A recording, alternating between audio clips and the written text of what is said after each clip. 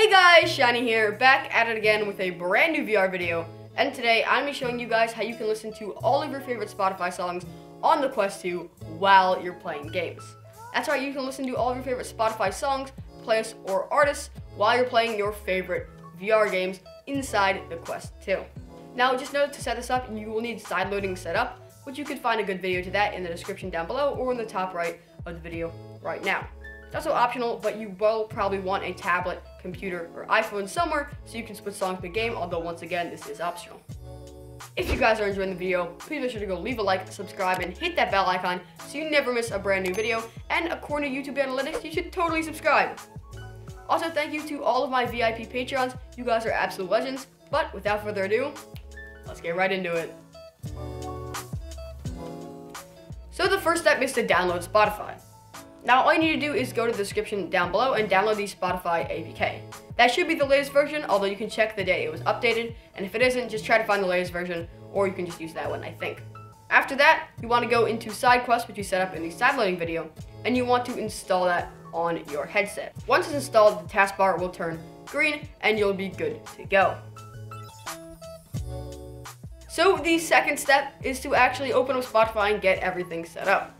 Basically, all you need to do is go into unknown sources on your headset, open up the Spotify APK we just installed, log on to your Spotify account, and bam, you have Spotify all set up.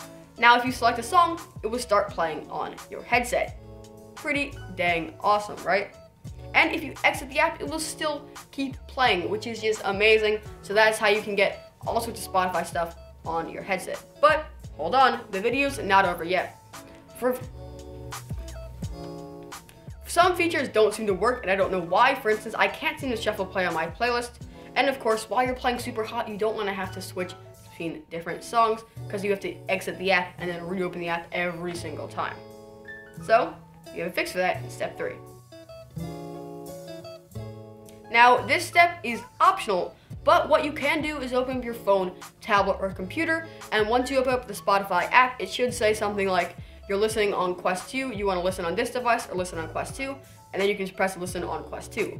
And bam, you now have Spotify set up on your phone as well, and you can control all your music and it will play inside of the Quest 2. That way you don't have to close, quit, and then reopen and restart the app every single time you want to change a song, as you can also shuffle playlists and do all sorts of other cool features with that. So I really hope you guys enjoyed the video, and just some uses I've found for it is I like to speedrun Superhot, and so while I'm doing it, I can just shuffle play my music because sound doesn't really matter.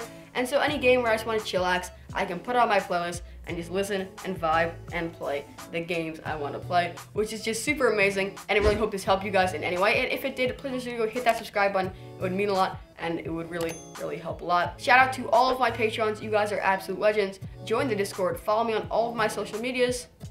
If you want to support the Patreon, you get exclusive benefits. And follow me on Twitch as I hopefully will be live streaming Minecraft VR soon.